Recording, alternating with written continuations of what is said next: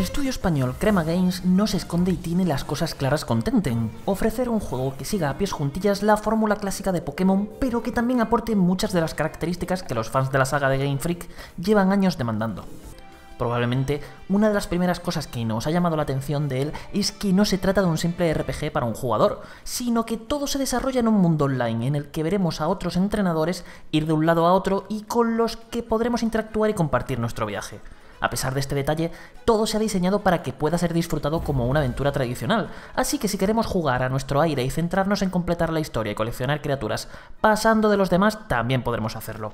Eso sí, como buen MMO que es, necesitaremos estar conectados a Internet sí o sí. Su premisa argumental es de todo menos original.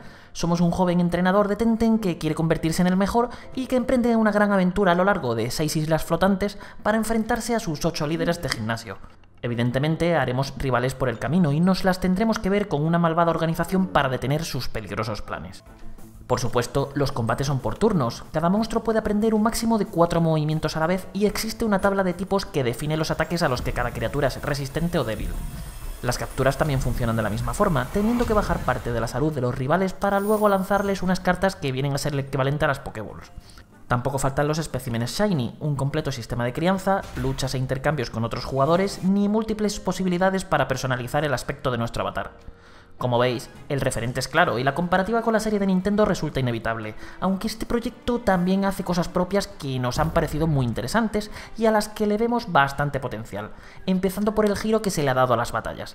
De entrada, aquí todos los combates son dobles, por lo que siempre usaremos a dos criaturas a la vez, con todo lo que eso implica, ya que hay mucha más estrategia a la hora de gestionar y resolver cada turno. Otra característica única de estos enfrentamientos la tenemos en su sistema de energía. En vez de limitar cada movimiento a un número de usos concretos, el equipo de desarrollo ha querido innovar un poco y ha establecido que cada uno de nuestros ataques gaste una serie de puntos de energía de la barra de resistencia de cada Tenten, por lo que a mayor poder, más costosos serán. Lo realmente interesante es que en el caso de no tener suficientes, los que nos falten los podremos conseguir sacrificando parte de nuestra barra de vida por el sobreesfuerzo. Además, cada turno recuperaremos parte de nuestra resistencia y también se ha añadido el comando de esperar para que el monstruo que lo necesite regenere mucha más energía a cambio de no actuar durante una ronda. Como veis, todo lo comentado añade una jugosa capa de profundidad y estrategia a los combates, especialmente cuando nos damos cuenta que existen movimientos que necesitan algunos turnos de espera para recargarse, así como otros que mejoran considerablemente y ganan propiedades especiales si al usarlos tenemos una criatura aliada de cierto tipo. Y ojo, ya que os alegrará saber que toda la aventura puede ser disfrutada en cooperativo junto a otro jugador. Desde luego, no se puede negar que su propuesta funciona y sabe entretener con suma facilidad, aunque no se libra de algunos problemas que le restan mucho atractivo, empezando por su total falta de carisma.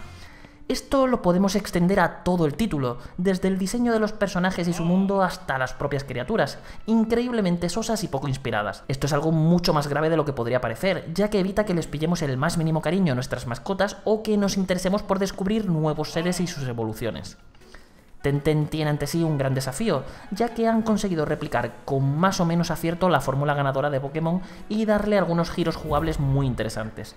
Pero por el camino se les ha olvidado dotar de personalidad y carisma a su mundo y a sus criaturas, algo que acaba pesando mucho más de lo que sería deseable en un título de estas características, ya que se carga de un plumazo cualquier interés que pudiésemos tener en hacernos con todos. A nosotros, desde luego, nos ha entretenido durante las horas que hemos jugado, y mentiríamos si os dijésemos que no nos lo hemos pasado bien con él. Así que si os atrae la idea y creéis que no os importará demasiado su insípido diseño, haríais bien en no perderle la pista.